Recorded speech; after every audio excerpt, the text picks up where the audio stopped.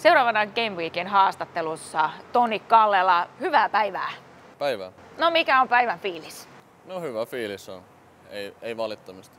No mitä itse sanot teidän alkukaudesta? No vaikeahan se alkukausi on ollut ja tuota nyt viime, viime viikon loppuna parempaa suuntaan menossa, että jatketaan siitä. Miten omasta pelaamisesta sanot? No aika samat mietteet, että aika karseitahan se on ollut alkukausi, mutta nyt on merkkejä paremmasta ja yritetään jatkaa siitä. Kuinka paljon auttaa asiaa niin sanotusti, kun tuossa perjantaina lukkopelissä tuli saman tien kolme maalia? No auttaa se itseluottamusta ja että kyllä se eka, eka maali niin vapautti itseä aika paljon ja nyt pyritään siitä vaan, siitä vaan lähteä suunta ylöspäin. Tämä on tulosurheilua kuitenkin ja se on se, millä teitä hyökkäjiäkin välillä mitataan. Minkälaista se on, kun joka päivä tekee kumminkin paljon duunia sen tuloksen eteen ja sitten tuntuu, että ei tuu tulosta? No se on välillä, välillä vaikeaa, mutta kuuluu lajia. Pitäisi pystyä, pitäisi pystyä paremmin käsittelemään niitä, niitä heikkoja jaksoja sitten, mutta oppiahan tämä on itsellekin ollut ja tuota, ei siinä. Se kuuluu homma, että pitää tulosta tehdä, ei siinä mitään se ihmeellisempää. Pelillisesti tosiaan viime viikossa oli nähtävillä jo sellaisia valopilkahduksia. Mitkä asiat, asiat sun mielestä niin kun onnistui jo paremmin? Mun mielestä me pelattiin viisikkona perjantai ja lauantai niin kuin huomattavasti paremmin verrattuna alkukauteen. Ja en mä nyt tiedä mitä yksittäisiä, mutta et viisikkona puolustettiin tiiviimmin ja hyökättiin paremmin yhdessä, että ei, ei ollut semmoista ämpyilyä sinne sun tänne. Et mun mielestä se oli niinku viisikkopeli kokonaisuudessaan niin parempaa suuntaan.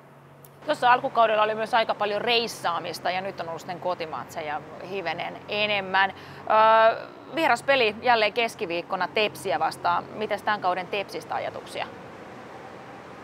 No ei oikein mitään, mitään sen kummempia ajatuksia. Että kova, kova nippuhan tällä taitaa melkein joka jengillä olla ja Tepsilläkin on ilmeisen vaikeita ollut, mutta kova rosteri niillä on, että ei, ei sieltä helppoja pisteitä ole tulossa. Perjantaina S sitten kotona. Kuinka paljon se pelaajan kannalta merkitte, että jos nyt miettii sitä, että tulosta ei ole tullut joukkueelle, mutta katsomo välillä on täällä, seisomakatsomo varsinkin, täynnä ihmisiä, jotka laulaa ja kannustaa koko pelin ajan. Kuinka paljon se niin kuin vaikuttaa suhun? No siis on se kiva, että on, fanit pitää ääntä ja on yleisö. Totta kai se aina, aina jos niin on, niin se on positiivinen juttu. Tervetuloa Game Week-ohjelman pariin. Tällä viikolla Sportilla on kaksi ottelua. Keskiviikkona Turussa TPS ja sitten perjantaina kotona Kuparisaaressa Porin S. Game Weekin vieraana on ensimmäistä kertaa valmennuksesta Johannes Nykod. Morjesta. Hyvää huomenta. Kerro vähän, mikä sun rooli joukkueessa on? Mun rooli joukkueessa on se, että mä lähinnä toimin pakkien kanssa arjessa ja, ja sitten myös peleissä niin mä pelutan niitä. Ja, ja sitten sen lisäksi niin, niin tota, mä vedän taitoja, mitkä toimii käytännössä ekstrana ja sitten toimin loukkaantuneiden ja, ja ei-pelaavien kanssa lähinnä niin kuin jäällä sitten. Ja, ja sitten tota, Helennyksen Sami hoitaa sitten sen puolesta fysiikat myös loukkaantuneille. Ja, ja, ja sitten pelin suhteen niin käytännössä toiminta puolustusalueella ja, ja alivoiman suhteen, niin, niin sieltä pyrin, pyrin löytää tota, maukalle sitten ne pointit, mitä voi lähteä kehittämään ja pitää kiinni. Minkälainen tausta sulla on Kiekon kanssa? Ää, Kiekon kanssa tausta on se, että, että mä oon 18-vuotiaasta asti pelannut sportin A-junioreissa ja, ja sitten loppura tai ura ää, loppu siihen ja, ja seuraavan päivänä kun loppui, niin, niin mä aloitin valmentamisen ja, ja tota, sit sitä rataa ollaan, ollaan edelleen.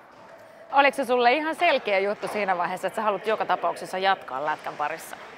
Oli se, e, että siinä vaiheessa oli jo, oli jo muutama leikkaus takana ja, ja todennut sen, että, että ei musta jääkiekkoilijaa tule. Ja, ja oli jo käynyt mielessä, että, että siinä vaiheessa kun se loppuu, niin, niin sitten mä ruven valmentaa ja, ja sitten se tuli vaan vähän aikaisemmin vastaan kuin mitä ehkä oli olettamuksena. No nyt on sitten Tepsi keskiviikkona Turussa. Mitenkä tohon matsiin? Ähm, no nyt me ollaan, ollaan päästy kiinni takas ja, ja löydetty vähän niin kuin se punainen lanka ja, ja me ollaan saatu vähän niin kuin ihan hyvistä peleistä, niin me ollaan päästy siihen oikeasti niin kuin hyviin peleihin, varsinkin tämä, tämä Lukko ja Ilves-peli viimeisenä. Ja, ja tota, sitten me pyritään jatkaa. Et, et innolla oletetaan, että mitä niin kuin Turusta on, on tulossa vastaan, että, että vähän varmasti on tullut uutta tuulia siihen niiden pelaamiseen ja, ja sitten katsotaan, että, että miten me päästään niitä vastaan kamppailemaan senkin suhteen. Joo, siinä oli Ilvespelissä oli nähtävissä myös paljon hyviä elementtejä. Toki sitten tuli muutamat synkät minuutit ja peli kääntyi sitten siitä. Mutta miten sä itse näkisit sen, että miten esim. tämmöiseen maalin teon tehottomuuteen voisi purra? Varmasti olette miettinyt tätä. Joo, ähm, ehkä enemmänkin äh, edeltävä viikko, niin, niin me pohdittiin joukkueen kesken sitä, että, että nyt me päästäisiin luomaan enemmän likaisia maalintekopaikkoja ja, ja me päästiin siihen kiinni hyvin sitten varsinkin siinä, siinä tota, lukkopelissä ja, ja ilvespelissä ja me saatiin luotua sekä hyvin rakennettuja maalintekopaikkoja että sitten myös vähän niin kuin likaisempia maalintekopaikkoja ihan sillä, että me saatiin, saatiin vähän mäijiä maalille niin sanotusti ja, ja, ja se, nyt meillä on edellytykset tehdä maaleja sen kautta, että, että me, me tehdään vähän niin kuin ekstra työtä sen eteen, että joku muu saa sen maalintekopaikan. Ei varmaan sanota valmennuksella ole mikään kovin kiva tilanne tällä hetkellä, kun tosiaan joka päivä se päivittäinen työ jatkuu, mutta se palkinto siitä niin jää tavallaan saamatta koko ajan. Kuinka sitä pystyy rohkaista joukkuettakin eteenpäin et, ja niin kuin tsempata sitä, että kyllä tämä tästä? No ehkä iso juttu on se, että, eihän se, ää, meidän toimintaan saisi vaikuttaa, vaan enemmänhän meidän duuni on, on siitä riippumatonta, että, että mitä tapahtuu ää, peleissä. Ja, ja sitten me pyritään vaan reagoimaan siihen niin hyvin kuin mahdollista, jotta me voidaan auttaa pelaajia niin hyvin kuin mahdollista. Ja, ja, ja sitten se tulos, ää, niin ei se tee tästä niin kuin kivaa tai ei kivaa, vaan enemmänkin se, että se fokus on edelleen siinä työnteossa ja se, että, että miten me pystytään paras, että miten me löydetään se paras mahdollinen tapa auttaa pelaajia seuraavaan pelin taas. Ja tosiaan Tepsi ekana, mutta kotipeli on sitten perjantaina Porinässiä vastaan ja se aina kiinnostaa, kun se on vähän tämmöinen niin lähimatsi. Mitä sanot Johannes, että minkä takia kannattaisi tulla perjantaina Kuparisaareen katsomaan?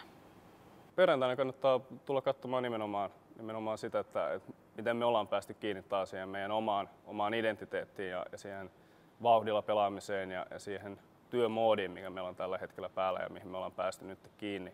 Ja, ja vielä kun päästään kotona pelaamaan ja, ja vielä ässiä vastaan, niin ihan varmasti saadaan vielä napsu eteenpäin senkin suhteen. Kiitos paljon Johannes. Kiitos.